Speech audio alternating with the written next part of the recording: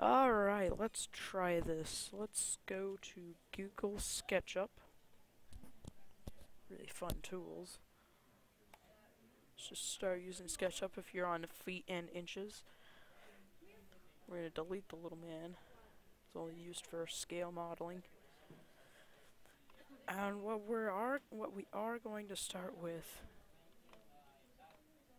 is a rectangle. We're gonna start but with a uh,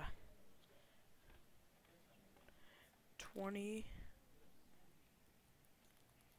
20 foot by 10 foot. And then we're gonna do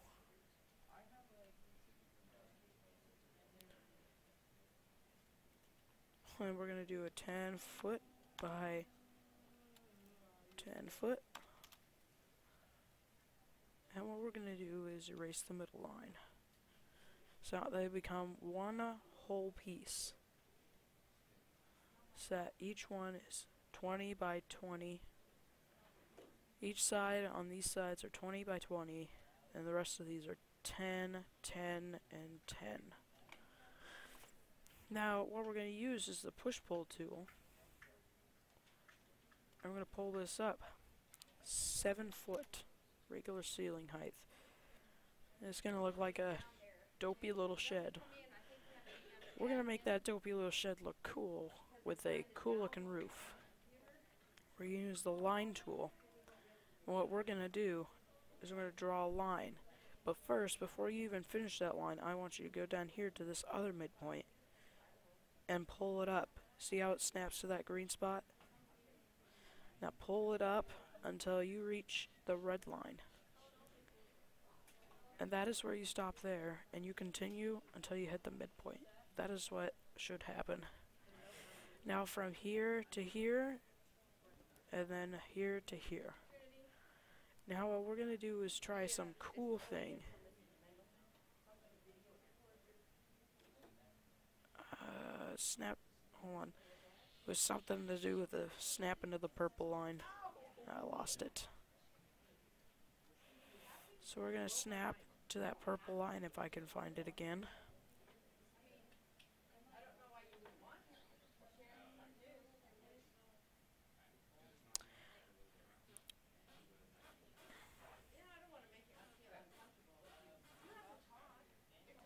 Seven foot.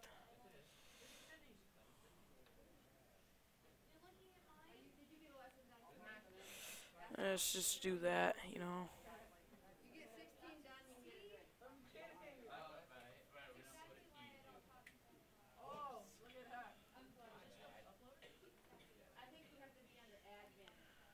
There we go.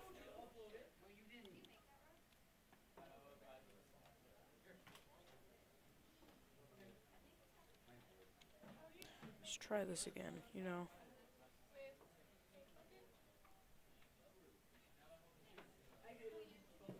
We're gonna try it from different spots, you know. Trying to make it look cool. It's not gonna come out always as perfect, because, you know, let's just say this is Google SketchUp is not always gonna come out perfect, huh? And we're gonna erase those lines. And what we're gonna do is gonna grab the select tool. Which we are going to press control and select oops and select these two lines right here. We're going to grab the move tool. We're going to go like this. And go up. Now let's just go up by three foot, you know. And there is your cool roof. I like to be a little fun with my thing and what we're gonna do is we're gonna put some paint on there. There is, if you go to the paint bucket, this usually pops up. Once this usually pops up, there are so many different materials. There is asphalt and concrete, blinds and brick and cladding, carpet and textiles, colors, colors name, fencing, geometric tile, ground cover markers, material symbols, and then we move farther down the line metal, roofing, sketchy, stone, tile, tonal patterns, translucent, vegetation, water, and wood.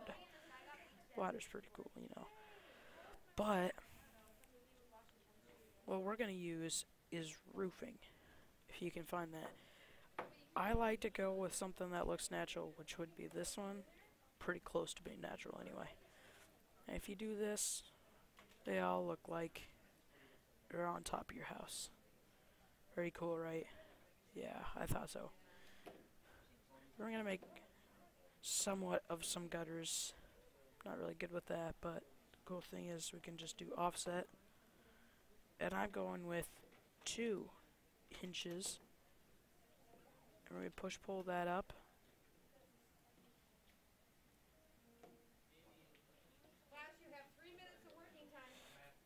Six foot.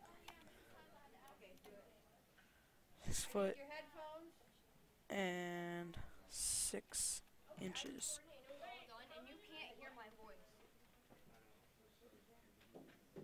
See?